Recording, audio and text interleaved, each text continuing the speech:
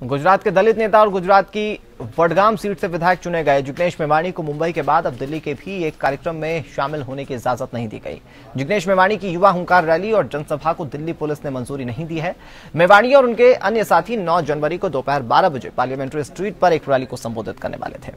इस कार्यक्रम में दलितों, अल्पसंख्यकों पर हो रहे हमले, शिक्षा, रोज़गार और सामाजिक न्याय का मुद्दा उठाया जाना था।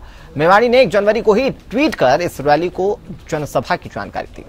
दिल्ली पुलिस ने धारा 144 का हवाला दिया और फिर 26 जनवरी के मद्देनजर हुंकार रैली, जनसभा करने की अनुमति को रद्द कर दिया। मंजूरी ना दिए जाने पर रैली की गई तो फिर कानूनी कार्रवाई की बात कही जा रही है।